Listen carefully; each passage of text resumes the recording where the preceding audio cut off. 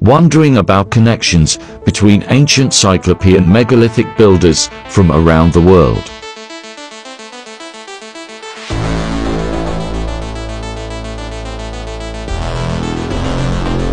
and so many more.